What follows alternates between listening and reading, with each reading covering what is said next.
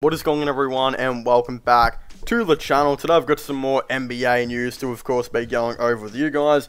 Very recently the Chicago Bulls actually just made another signing where they, you know, they recently made a couple of signings uh, and I did make a video on that where they actually signed Matt Thomas and Alize Johnson. I highly recommend you guys go and check that out. But basically, they actually well, signed rather another player in free agency. This time being a 25-year-old forward who actually used to play for the Toronto Raptors.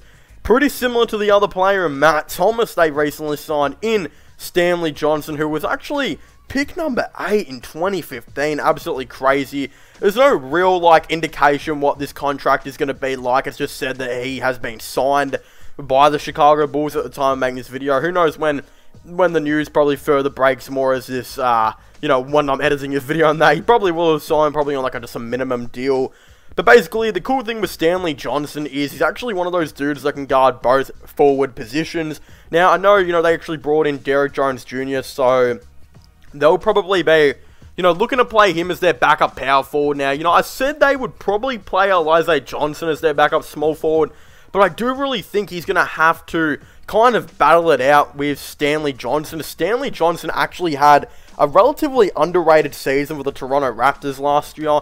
He actually managed to play 61 games and started 13, basically playing 16.5 minutes per game, where he had his career best 33% from 3 on 4.4 points per game. Basically was just there to put some pretty good defense in here and there, but I, I do find it relatively crazy that this guy actually you know, did pretty well last season considering he's supposed to be a real big bust. Like, if there's a chance, you know, that maybe the Chicago Bulls have some injuries here and there this season, Stanley Johnson, who knows, he might be in for some big minutes. But hey, considering DeMar DeRozan, I'd probably say he'll probably play about 30 minutes per game or so.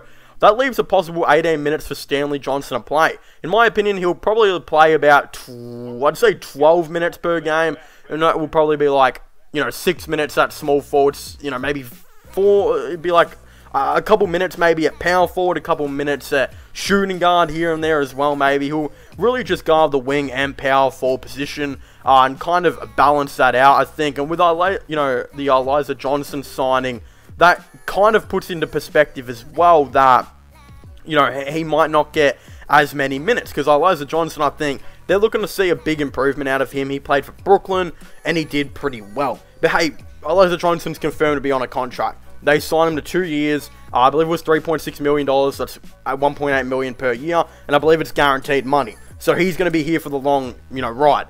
I'm not too sure about Stanley Johnson, though. I'm not too sure if it's guaranteed or not. Again, at the time this video, when it does come out, there will probably be more confirmed on that. Who knows, they might have signed to a two-year deal on the same money, but maybe this time it's non-guaranteed. Uh, it's being said right now that Alize Johnson's contract is guaranteed, but again, who bloody knows? These contracts change any second, really. Like, the news is still yet to 100% come out on the whole contracts. It's just speculation by, of course, Shams.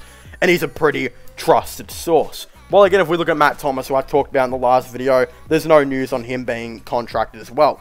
But they've really kind of got their forward depth in now. They've, you know, locked up some players. They've going, they're going really small. Like, Stanley Johnson's only 6'6". Derrick Jones Jr. is 6'7". Um, and Alize Johnson, 6 foot 7, I believe, as well. And they'll all be playing power forward minutes, you would assume. And, like, the only power forwards I believe that are, like, that high is, like, Larry Nance. But Larry Nance is a pretty strong guy. Like, he's also got a pretty big frame.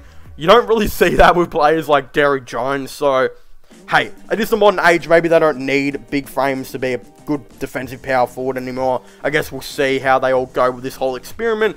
But there, I still think on a look to get like a good power forward slash center, you know, as like a backup. I was been talking about DeMarcus Cousins for a while. I still think DeMarcus Cousins would be a, a pretty nice fit, in my opinion. I, I, am not exactly too sure. Um, but hey, he's probably better than Tony Bradley. And I don't think Tony Bradley should be like your 10th man. He should be like your 15th man. I would assume. If you're going to want to have a really good team, Tony Bradley should not be getting minutes throughout the whole season. So I don't. That's where I think Chicago kind of lap, uh, you know, don't do well in brothers because they kind of have a little bit of depth, you know, depth issue.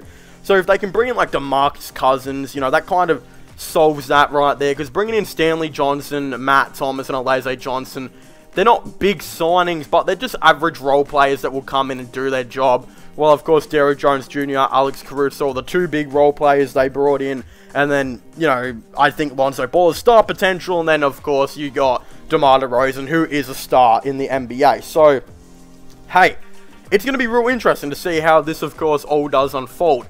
I'm not exactly too sure. Um, but uh, it will be really cool. I think it's going to judge if these are good signings or not when the Chicago Bulls season does eventually, you know, come around and we'll see how they go because this is a very small team. Like, even having, you know, Alex Caruso as your backup shooting guard, he's not a small player, but again, he's not exactly big for the shooting guard as well. And your backup small forward will be Stanley Johnson. A six foot seven is probably your average height for small forward. He's going to be six foot six, and then your backup power forward average height is probably like six foot nine. And again, theirs is going to be six foot seven, and they've got two backup power forwards, which will be like six foot seven. It's going to be a really interesting one to see how this, of course, all goes. I think their size will be an issue, but hey, that's just my opinion. Small ball has worked in the past. Look at the Golden State Warriors. So they are an option, you know, they could model themselves after. And of course, they're not going tall. They're not looking at that Lakers team from two seasons or so ago. So, yeah, it's going to be real interesting to see how this, of course, all goes. If you haven't already, please make sure to leave a like and subscribe to the channel for all the latest NBA content and NBA news. Of course, don't forget to comment in the comment section down below. What are your thoughts and opinions on them? Of course, you know, you know, signing uh, Stanley Johnson. Do you guys think it was a good signing? Do you guys not? Uh, of course, don't forget to subscribe to my gaming channel, my IRO slash vlogging channels, and don't forget to check out my podcast as well, if you haven't already, which I will all be linking in the description down below. But as always, I want to thank you guys so much for watching, make sure to leave a like, subscribe, and comment, and I'll see you guys next time. Goodbye.